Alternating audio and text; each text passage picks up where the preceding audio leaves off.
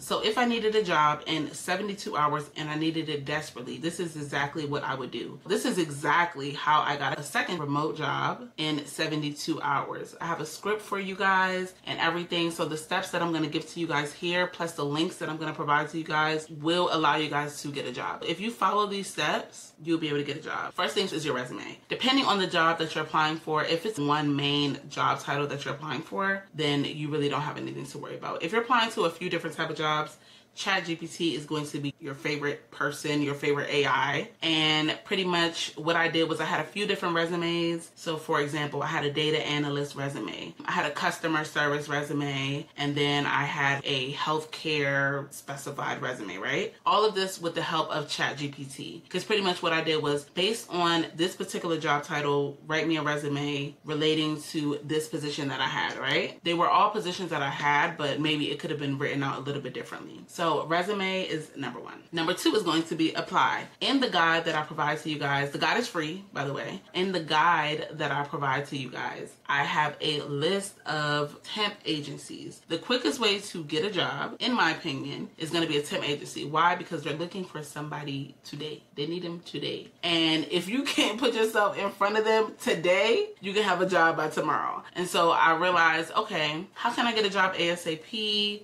but something that's going to pay me good and something that I'm I will be able to start getting paid right away. And temp agencies usually pay every week as well. Because I think even when I started, the next week I started getting paid. That was I got my first check and I get paid every week from there. So it's going to be apply. In the guide, I have a list of temp agencies, or you can just Google temp agencies that you can apply to, right? So go ahead and apply to the temp agencies. Number three is when you go to these temp agencies, they have the recruiters' names. The recruiters are your best friends. I'm not telling you to be fake, be genuine, but talk to them. They're the ones that essentially are going to push you to get the job. They're going to put you in front of the right people. You want to talk to these recruiters. So number three is going to be follow up email. In this guide that I have written out for you guys, there's a script. Every job that I apply to, that day I probably maybe applied to 25 jobs.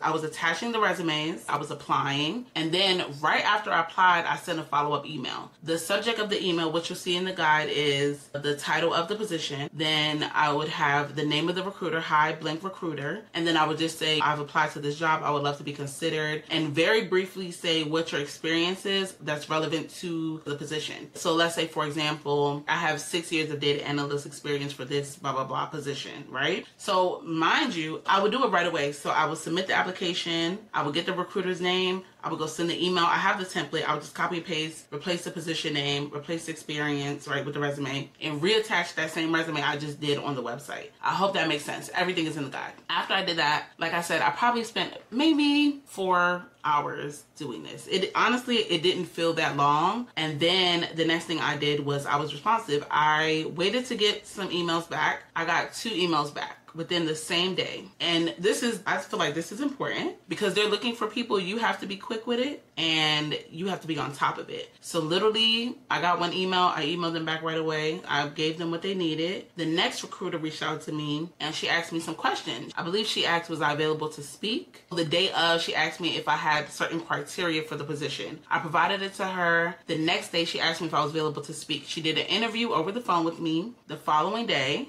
the next day she offered me the position so basically it was three days it was 72 hours the first day is when i applied the second day was the interview. On the third day she offered me the position. I negotiated my salary. I let her know i'll go ahead and accept the position. She told me my start date. I think i had a week and some change before i started and i literally started. What else do i have here? Being responsive and then setting and achieving your goals. Number one i'm a big person. You have to believe that the job is yours already. You got to move like god said yes okay? As i'm submitting the applications, I'm just in my mind like, okay, I'm doing this, like I'm gonna find something. Like I'm moving like it's already mine, right? So that's that even goes into like you responding efficiently and confidently, right? Not second guessing yourself, doing the interview process. So all of these things are important. So if you're looking for a job desperately, especially a remote job, a work from home job, I know that's like a big thing. I know it's super convenient if you're looking for a second job. If you're urgently needing another job or a job, period, definitely follow these steps. Download the guide. I have the links there for you to go ahead and check out. And I have the script. Everything I just broke down for you is all there. I do love to talk about business here. If you're in between getting a job and a side hustle, or making money on the side or passively, definitely go ahead and check out the video on how to get paid to exist. I also have videos on making passive income and real estate and things like that. Definitely go ahead and check those out. Don't forget to subscribe and comment down below, especially when you end up getting a job. Comment down below and let me know that you got the job so we can celebrate and we can cheers to you getting your new job, okay? So good luck to you all. You got this. Go ahead and do what you got to do and I will see you guys in the next video. Take care of yourselves. Bye.